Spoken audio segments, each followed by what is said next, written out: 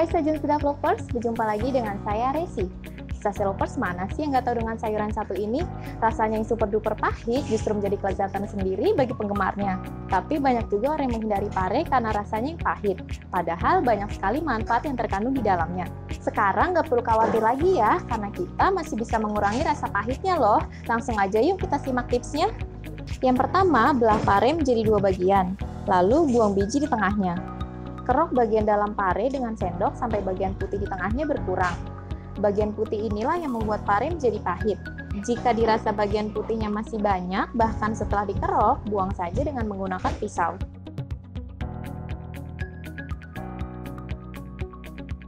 Setelah dipotong sesuai kebutuhan, remas-remas pare dengan garam.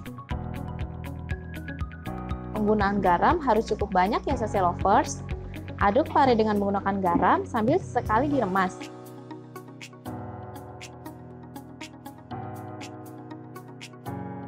Lalu bilas pare dengan air bersih. Lakukan cara tersebut sampai tiga kali. Terakhir, bilas kembali pare dengan air bersih, lalu pare siap digunakan.